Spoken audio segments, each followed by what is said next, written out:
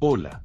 En este video hablaremos sobre el código de falla P0046, que se refiere a un problema en el circuito de control del actuador de la válvula de control de presión del turbo.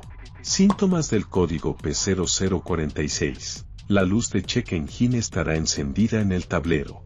Puede haber una disminución en el rendimiento del motor. Puede haber una falta de potencia del motor. Puede haber un aumento en el consumo de combustible. Las causas más comunes del código P0046 incluyen un actuador de la válvula de control de presión del turbo dañado o defectuoso, problemas con el cableado del actuador de la válvula de control de presión del turbo, como un cortocircuito o un circuito abierto, problemas con el conector del actuador de la válvula de control de presión del turbo, problemas con el sistema de control del turbo. Soluciones del código P0046. Reemplazar el actuador de la válvula de control de presión del turbo. Verificar y reparar cualquier problema con el cableado del actuador de la válvula de control de presión del turbo.